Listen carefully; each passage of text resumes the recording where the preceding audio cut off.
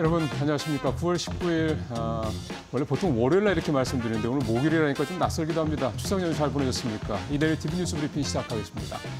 자, 첫 소식은 AI 과잉 투자 논란 정면 돌파하겠다. 블랙록, 마이크로소프트 40조 펀드 맞손. 이 소식 앞에서 어, 자세히 좀 말씀을 드렸기 때문에 저는 이제 이 기사를 바라보는 두 가지 포인트 정도만 좀 더 부연해서 말씀을 드리고 마무리를 하고 다음 기사로 넘어가는 게 좋을 것 같습니다.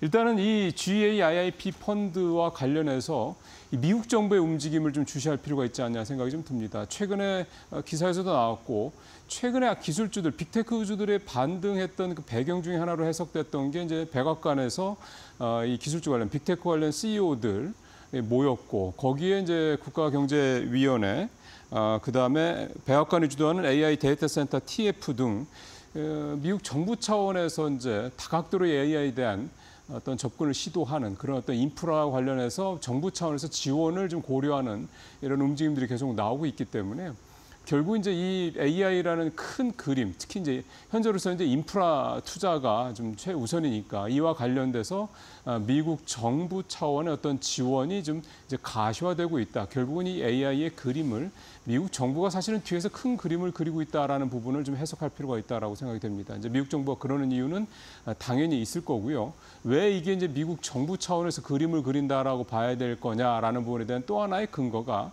잘 아시는 것처럼 사실 바이든 정부 들어서서 바이든 정부보다는 이제 그 시작은 이제 트럼프 정부 때부터 봐야 될 것 같은데 트럼프 때 이후로 이제 미국과 중동 간의 중동 국가들 간의 관계가 이렇게 매끄럽지 않습니다. 특히 바이든 정부 들어서 더 좀 간극이 벌어지는 그런 모습이 보이고 있는데요. 뭐 심지어는 이제 페트로 달러를 이제 뭐 페트로 어, 달러가 아니라 페트로 위안화로 하겠다 뭐 이런 얘기까지 나오고 있는 판이죠. 이제 어쨌든 중동 국가들과 미국과의 관계에 틈이 벌어지는 거를 중국이 파고들어서 지금 어, 중동과 이제 중국과의 관계가 좀 가까워지고 있지 않습니까? 이게 사실 미국 입장에서 봤을 때는 안보 측면에서 되게 위협적이죠. 경제 측면에서는 말할 것도 없고요. 그래서 이제 어, 이번에 얼마 전에 나온 기사입니다만 엔비디아가 H100 지금 H200이죠. 지금 가장 최신 AI 반도체 칩인데 이 칩을 사우디에 수출하는 것을 허용하겠다라는 걸 검토하겠다. 뭐 이런 얘기까지 나오는 거 보면 결국은 미국 정부 차원에서 AI와 관련된 여러 가지 어떤 흐름들 이 부분을 주도하겠다라는 뜻 해석이 되었기 때문에 결국 그 얘기는 뭐냐면 이 AI 인프라 관련돼서는 수요가 여전히 있고 크고 이 부분 관련해서 미국 정부가 아, 미국 주도죠. 미국 주 미국 주도의 이런 인프라 어떤 구축이 이루어지겠다 앞으로 뭐 이런 해석을 해볼 수가 있겠다는 생각이 듭니다. 그래서 이제 이 펀드도 결국 이제 그런 차원의 한 어떤 어, 줄기가 아니냐 이런 해석을 좀 해볼 수 있지 않겠냐 생각이 좀 듭니다. 어쨌든 이 GAIP 펀드 얘기까지 나오다 보니까 AI 고점론 관련돼서 좀 어쨌든 어, 좀 사그라든다라는 표현 그렇죠? 어, AI 고점론이 결국 이제 AI에 대한 부정적인 어떤 특히 AI 반도체 관련주들에 대한 좀 어, 약세의 근원적 이유였는데 그런 부분들이 좀 어, 줄어들 수 있겠다라는 얘기가 나오고 있습니다. 그래서 이제 다시 보자 뭐 반도체 얘기가 좀 나오는 건데요. 그래서 사실 최근 반도체들 상황을 보면 좀뭐 표현이 좀 그렇긴 합니다만 좀 처참하다라고 해야 될까요? 일단 주가도 많이 떨어졌고 수급이 일단 좋지는 않습니다. 표 한번 볼까요? 어, 지난 9월 달, 이번 달 들어서 SK 하이닉스와 어, 삼성전자의 이제 투자 관련된 부분들인데 어, 보면 빨간색 막대 그래프 개인들만 사고 있죠. 어, 반면에 외국인과 기관은 대부분 다 팔고 있습니다. 뭐 하이닉스 같은 경우는 기관이 조금 사고 있는데 뭐 거의 뭐 300억 대니까 사실 큰 의미가 없는 거고. 그래서 그 밑에 주가도 보시면 SK 하이닉스 주가도 16만 2천 원대 초반, 삼성전자 주가도 6만 원대 중반까지 좀 떨어져서 사실은 한 달 전에 블랙 먼데이 아, 수준까지 좀 떨어져 있는 그런 상황입니다.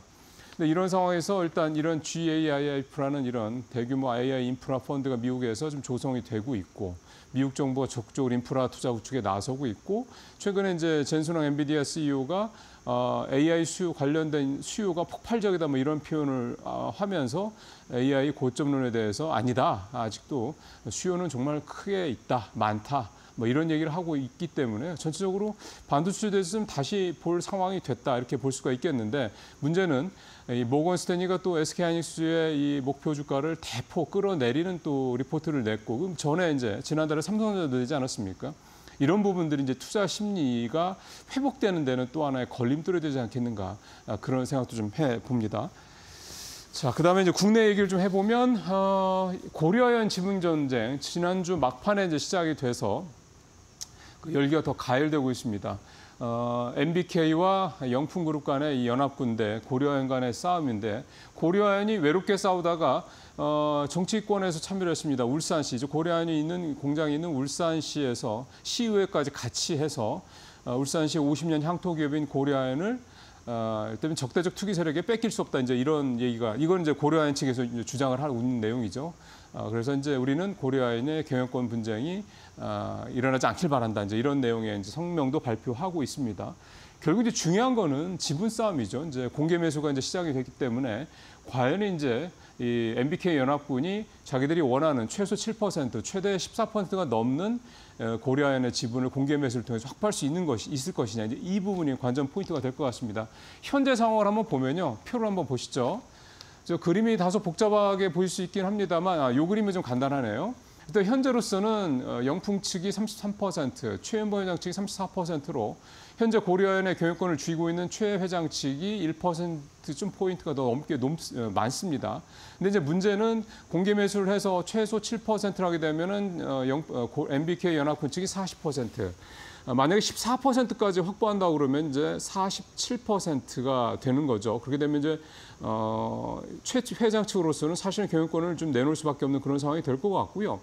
그러다 보니까 지금 표에서 보시는 것처럼 우측에 있는 이 국민연금 7.8%의 지분으로 이 3대 주주에 올라서 있는 국민연금이 과연 어떤 선택을 할 것이냐 이게 중요한 관전 포인트가 될 것 같습니다. 일단 지난번 주주총회 때는 최 회장 측에 손을 들어줬고요.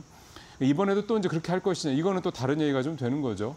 아, 물론 이제 최 회장 측의 이제 우군 세력, 그러니까 이를테면 현대자동차라든가 아, 이런 쪽에서는 뭐 여전히 현대자동차 아, 이 고려아연 측에 손을 들어줄 거라는 전망이 높긴 합니다. 이게 단순히 뭐 지분을 사고 팔고에는 이해 타산적인 문제가 아니라 이 어떤 그, 그 재료라든가 이런 비즈니스 차원의 어떤 그 제휴이기 때문에 뭐 이 지분 문제는 크게 문제는 없을 것 같고 그다음에 또 하나는 최장 측에서 이제 이 공개 매수 즉 MBK 연합군 측의 공개 매수에 어떻게 대응할 수 있냐 결국 실탄 얼마나 쏟아 부을 수 있을 것이냐 이 부분이 이 두 가지 포인트가 결국은 영풍 이 고려아연의 지분 경쟁의 어, 관전 포인트가 되겠다 이렇게 볼 수가 있겠습니다. 자 마지막으로 짧게 한 소식 더 보겠습니다. 보호예수 줄줄이 해제 새내기주 물량폭탄 주의보 소식인데 이거는 표를 보고 그냥 설명을 바로 드리도록 하겠습니다. 8월 달에 상장된 종목들이 한 달 이제 보호예수 한 달짜리들이 이제 풀릴 예정입니다. 근데 보면은 이제 물량들이 이게 적지 않습니다. EN, 이엔셀 같은 경우는 41%나 물량이 해제가 되고요. MB, M83, 뭐, 그 다음에 TDS 팜도 25%나 되고, 넥스트 바이오 메디컬도 18.9%. 이게 이제 한 달짜리 보호 예수 물량이 이렇게까지 많은지 저도 좀 놀랐습니다.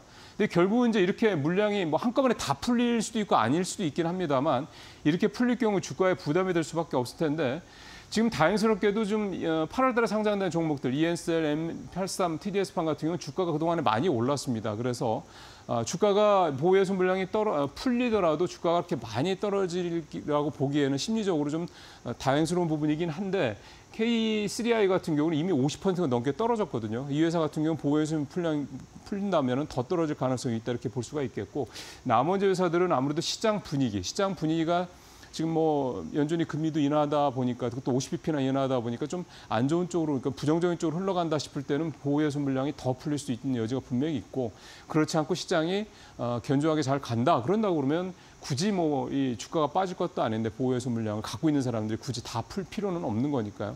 그래서 결국은 이 보호예수 물량들의 시장 출회 여부, 그 규모 여부는 역시 어, 시장 분위기가 이번에는 좌우하지 않겠냐 그렇게 생각을 좀 해보겠습니다. 네, 이 소식까지 마지막으로 해서 오늘 뉴스브리핑 마치도록 하겠습니다. 고맙습니다.